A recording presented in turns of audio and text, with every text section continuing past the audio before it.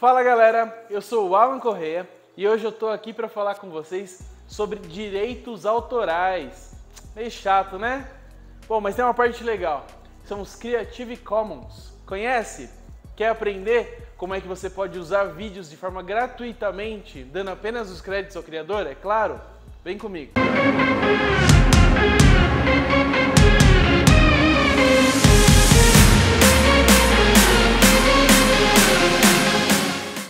forma muito simples, o Creative Commons é uma forma de licenciamento. Ele permite que artistas digitais, músicos, pintores, uma série de outras uh, pessoas compartilhem seu trabalho ou utilizem trabalhos de terceiros sem ter que pagar por isso, ou pelo menos não tem que pagar de forma monetária, paga dando os créditos. Entretanto, vale o alerta as obras que estão em Creative Commons não são de domínio público, elas são protegidas por direitos autorais.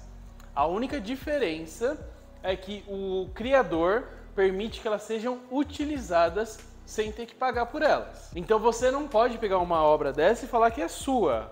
Isso é roubo. Mas vamos do começo. Como é que surgiu o Creative Commons? Você sabe? Essa ideia é relativamente nova. Ela foi criada lá em 2001. Ela foi criada com o apoio do Center for Public Domain e ela é administrada por uma série de pessoas que formam um conselho que incluem educadores, músicos, desenvolvedores e muito mais. E qual que é o objetivo do Creative Commons? Em primeiro lugar, é ajudar os criadores a divulgarem os seus trabalhos de forma gratuita. E essa divulgação ela é impulsionada por oferecer um licenciamento gratuito para que terceiros usem essas obras. Mas aí você me pergunta: Mas Alan, então quer dizer que eu posso entrar lá no site do Creative Commons, pegar uma obra e usar do jeito que eu quiser? Não, tem algumas regrinhas. Então são seis tipos de licenças e elas são oferecidas de formas bem específicas. Para usar cada tipo de obra, você tem que checar qual é a licença que está disponível e como você pode utilizá-las.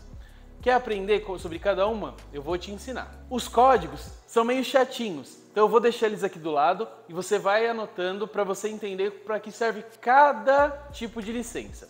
Vamos começar do começo, né? A primeira de todas é a CCBY. Então, quando tem esse selinho, você pode distribuir, alterar ou até mesmo reinventar em cima desse tipo de trabalho. Claro, ah, e de forma comercial, hein? Isso é importante. E, claro, tem que citar a fonte. Esse é para o CCBY, esse é o último, único pedido que é feito. Cite a fonte. Agora, por exemplo, se eu fosse usar aqui no meio do vídeo uma imagem que estivesse em CC BY, na descrição ou no cantinho da foto, eu teria que colocar quem foi que criou aquela foto. Em segundo lugar, nós temos a atribuição não comercial, que é chamada de CCBYNC. Você pode usar também para distribuir, alterar ou reinventar, só que não pode ser de forma comercial ou seja, você não pode fazer uma campanha publicitária, você não pode cobrar para vender essa foto, por exemplo, né? Depois vem a CCBYND. Que significa isso?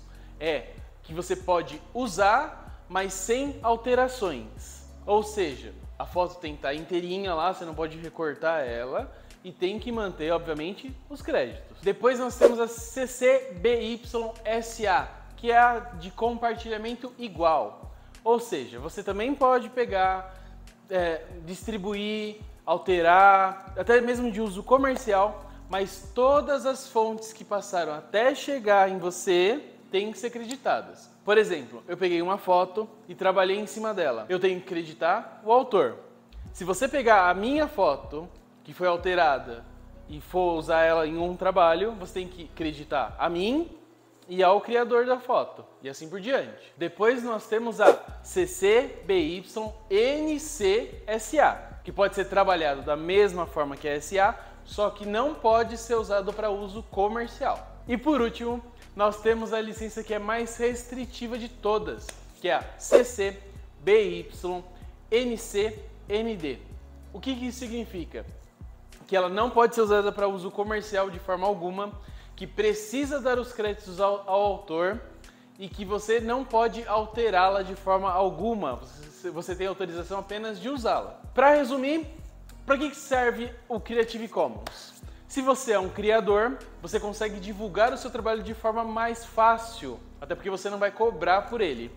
E vai ter, obviamente, sempre os créditos no seu trabalho. Se você é uma pessoa que cria conteúdo, você consegue utilizar trabalhos de terceiros sem ter que pagar monetariamente por eles, mas é obrigatório sempre citar os créditos. Aí você me pergunta, mas Alan, onde que eu acho esse trabalho tão maravilhoso que eu só preciso citar os créditos para poder usar? Ou só preciso colocar lá que vai ter um monte de gente divulgando meu nome? Você usa a ferramenta oficial do Creative Commons, que o link está aqui na descrição. Também não esquece, hein? Curte o vídeo, se inscreve no canal, ativa o sininho. Deixei também aqui na, na descrição cada itemzinho do, dos tipos de licença com uma descrição bem detalhada para quem for mais chato e quiser saber todas as regrinhas. Certo? Ficou alguma dúvida? Deixa aqui na, nos comentários também. Valeu?